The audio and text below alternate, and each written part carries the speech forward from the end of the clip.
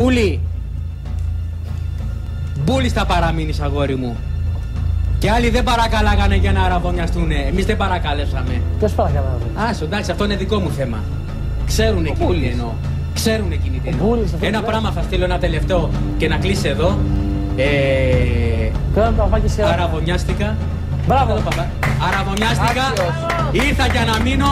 Με στηρίζει η γυναίκα μου στο 100% της σχέσης. Τα πάμε, τα πάμε υπέροχα.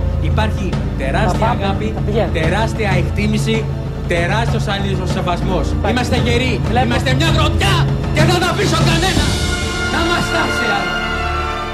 Αυτό το μήνυμα θέλω. Στα Αντρίκελα. Η Σαπίλα. Που δεν τόλμησα να ενοχλήσω ποτέ στη ζωή μου. Ηρέμησε. Ποτέ! Ήμουν μόνος μου! Και άλλα άλλα την χτυπήστε με μόνο μου! Να ηρεμήσουμε Γιάννη. Αλλά δεν θα αφήσω κανένα να μου πάρει τη γυναίκα που αγάπησα! ηρέμησε, Γιάννη. Που έφτιασε αίμα! Που ήμουν στα χρόνια της απελπισίας! Στα χρόνια της κακομοιριάς! Να ηρεμήσουμε λίγο. Τώρα που ευτύ, Τίποτα. τώρα που ευτύχησα, μη με πολεμάνε! Ηρέμησε, Είμαι Γιάννη. εδώ! Παλεύω για τα καθημερινά μου προβλήματα! Ηρέμησε, Και γλύπτης δεν έγινα κανενούς! Μάλιστα. Θα και Να είστε καλά!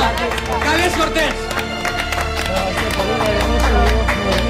Τίποτα πάμε παρακαλώ πολύ. Δυστυχώς έχουμε γιορτές και βλέπουμε... Δουλίτσα θέλω μόνο. Θα σπουδάξουμε την Και δουλίτσα θα βρω και θα τρίβουν τα μάτια τους.